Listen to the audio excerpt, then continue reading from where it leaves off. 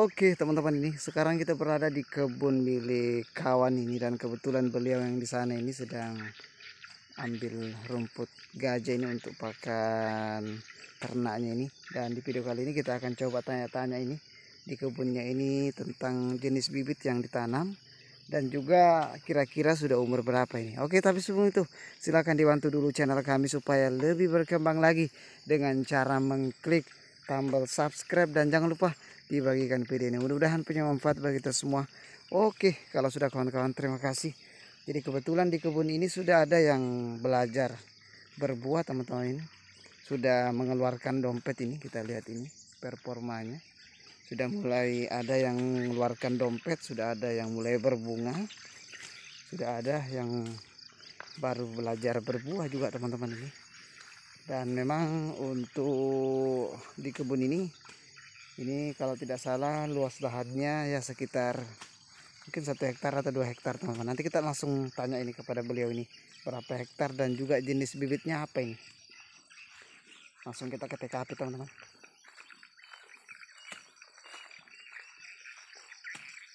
Mantap bah jenis bibit apa ini dulu lonsum kah ini? Lonsum ya hari Kira-kira ditanam tahun berapa nih ya? 2000 ada satu tahun kah sudah ini? Lebih sudah satu tahun ya? Berarti sekitar tahun 2020 eh 2021 teman-teman ini ditanam ini. Sudah tahun 2022 ini. Ini kebetulan sudah ada yang berdompet ini ya. Sudah pernah kau buangi buahnya kah? Atau dompetnya? Kastrasi teman-teman ini. Sudah dilakukan kastrasi juga. Ini belajar-belajar ini teman. Ada berapa pokok kira-kira ini ya? Ada 150 kah? Semuanya? Mm -mm. kalau yang langsung ini? Langsung ini sekitar eh, 275 wah 275 ya? Walah. Insya Allah nanti ini satu tahun ke depan teman-teman ini sudah dipanen ini teman-teman ini karena sudah belajar berbunga ini sudah akan dilaksanakan proses kastrasi.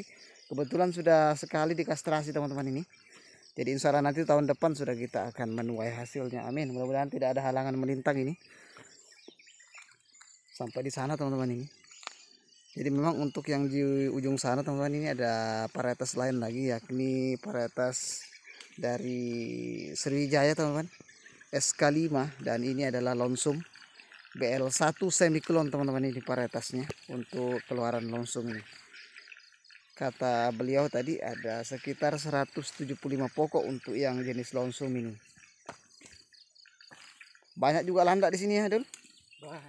Apalagi jadi memang teman-teman ini di sini banyak yang disulam-sulam ini karena banyak serangan landak ini. Jadi kelihatannya memang ada yang kecil ada yang sudah besar karena itu ada serangan landak tapi mudah-mudahan nanti ke depannya tidak ada lagi serangan landak jadi kita bisa eh, tahun depan bisa sudah panen teman-teman ini.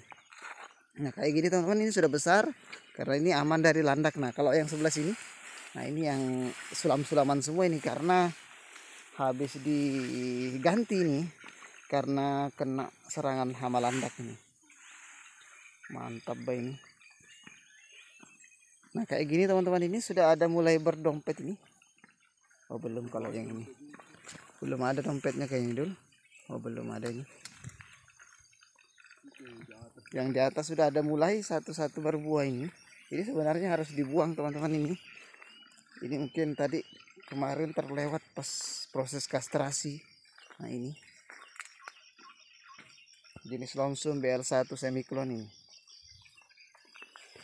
ada sekitar 175 pokok. Dan mudah-mudahan nanti kalau ada uh, umur panjang insya Allah nanti satu tahun ke depan kita akan melakukan proses panen perdana teman-teman. Amin. Ngeri. Ini beliau ini sedang ambil pakan ternak ini.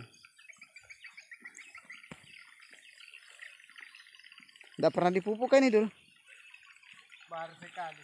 Baru sekali ya pakai apa pupuknya? Urea aja ya. Yang penting ada di pupuk lah daripada darah sama sekali. Tapi memang kelihatan teman-teman ini eh, warna daunnya lumayan karena tanahnya di sini subur ini teman ini. Jadi walaupun tidak pernah dipupuk atau satu kali saya dipupuk insya Allah nanti masih adalah kelihatan sedikit bentuk-bentuk sawit ini. Lumayan lah ngeri nih ini nanti mau disemprot lagi kayak itu mau disemprot lagi ya? Mau disemprot anu teman-teman ini. Sem- semprot jalur nih sebelum bulan puasa karena kalau kita puasa nanti eh, agak susah nanti untuk pembersihan lahan karena sudah mau menjelang bulan puasa ini. Beliau juga ini ada piara ternak ini ngeri lah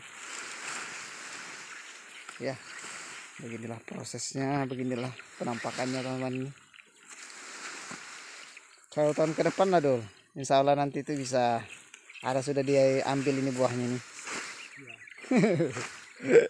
mantap bak jadi nanti ini tidak kurang ini satu tahun ini sekali ambil ini. Kalau 175 pokok ini semuanya ada 175 270. oh 275 wah tidak mati dua ton sudah itu nanti satu kali turun itu. Yang penting bagus sudah pupuknya mantap sudah perawatannya insya Allah mantap nanti hasilnya. Mungkin di tempat teman-teman ini ada yang tanam yang jenis longsum ini. Kebetulan di tempat kawan ini dia menggunakan bibit dari longsum juga yakni BL1 semiklon ini mantap 275 ya. Walah walah nggak salah-salah teman-teman ini. Sekali panen ini ngeri ini mudah-mudahan nanti tidak ada halangan melintang ini. Selamat sampai satu tahun ke depan. Misalnya nanti akan dipanen perdana ini. Mantap. Oke mungkin itu sedikit informasi tentang kelapa sawit di kebun ini. Assalamualaikum warahmatullahi wabarakatuh. Terima kasih